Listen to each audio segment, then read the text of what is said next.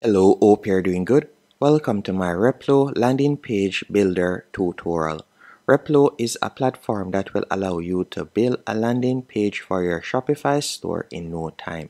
And it will also be a high converting professional looking landing page. To get started, I'll be leaving a link in the description that you can use to sign up. After you have tapped on that link, you'll be redirected to a page just like this and you can get started for completely free. After signing up, you'll be asked some questions and you can see what best describes you and your team and from there you can select any one of these options. So for example, I'll just select freelancer, then tap on next and what's your yearly revenue, you can select any one of these options and then you can continue. So I'll just select solo. What are you looking to do with Replo? And you can select whether you like to build a high converting page using optimized templates. That's what we are planning to do. Then we'll tap on next. What is your experience level with no code page builders? And I'm going to select I have some experience. Then we'll tap on next. What best describes your industry? And you can select whichever one of these options. So let's say for example I were to select pets then tap on next after you have done that, you can see the top pet templates right here. You could select any one of these options or you could choose to start with a blank page. Normally, I would recommend that you start with a template as that makes it easier. All you'll need to do is drag and replace, replace the current images or text that is there with your information. So I'm going to select a template and tap on Let's Build. After you have done that, you'll be redirected to the editor page. Now, once on the editor page, what I want you to do next, so you can see how it looks at the moment, all you need to do is tap on the section that you would like to start editing. After you have tapped on the section, from there you can go over to the right hand menu option and there you'll see more information that you can start edit. So for example, you can change the text color by simply selecting it. So if we were to select this text box right here, and go over to the right hand menu option. You can see the text right here that you could replace and you can also tap on the header right here and you could replace that text also. And if it is a case that you would like to remove the image you can do that too. After selecting the image all you'll need to do now you could go over to the left hand menu option and from there you could select for example hero image after selecting hero image, you can see the image right here.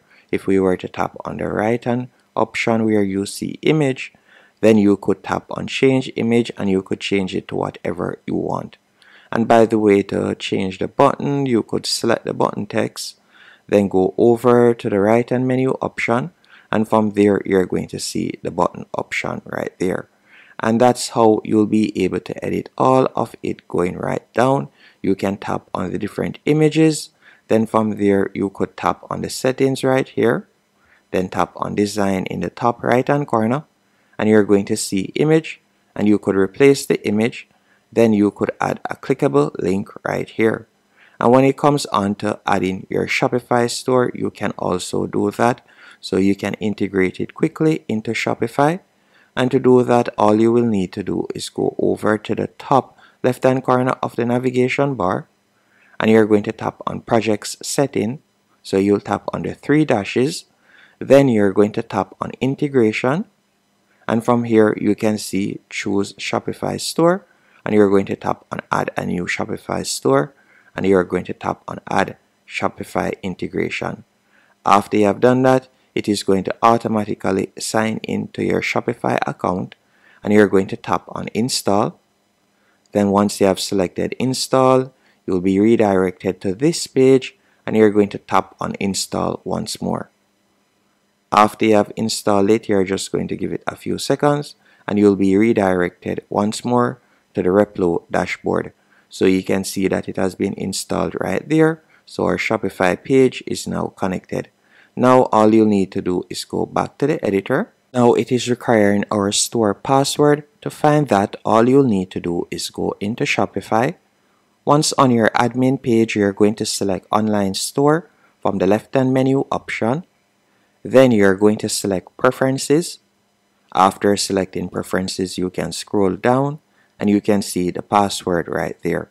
So you can simply copy the password, then go back into Replo and you'll paste the password right there and you're going to tap on submit password. After you have submitted the password, you will be able to continue editing Replo. So you can go back to editing. So for example, we can tap on this section right here, which is the section with the products. And from there, you can continue editing the different products. So you can tap on the different images and you can change them from the right hand column and you can also put in a clickable link if you want. And you can continue editing all of these by uploading the different pictures. And you can change the button text if you want. And you can also choose to make it clickable by going over to the right hand menu option right there. And from there you could tap on set link and you could make it clickable. And that's how you'll be able to set up your Replo page. And if it is a case that you would like to add a component that you don't see. So for example let's say you would like to add an element. All you need to do is go over to the top left hand corner and you're going to tap on components. After selecting components from there you could tap on pages. And if it is a case you'd like to add a page you can see the different page templates that you can choose from. Or you can choose to add sections so you could tap on sections and you could add any one of these sections to your page as you can see right there. And also you can see the basic components or elements. So whether you like to add text layout or you would like to add a product you can do that. So you can see the different product templates that you can choose from. So you can add collections automatically by simply dragging and placing it you can also add the buy now or add to cart button as you can see right there. So there are numerous options you can select from. You can also add in you can also add product reviews and so on from for example Judge.me or yotpo as you can see right there. And once you're finished all you need to do now once you're on the paid plan because with Replo unfortunately you're only able to create drafts on their free plan publish it you'll need to go onto their paid plan as you can see right here. And their paid plan starts off at $99 per month and with their paid plan you'll be able to publish 10 pages and you can add 10 published section as you can see right there. But if you were to go up to 249 you'll be able to publish 30 pages. So it is up to you but I would definitely recommend Replo if you are looking to create a professional looking Shopify store. Thanks for watching. Hope you found this tutorial helpful and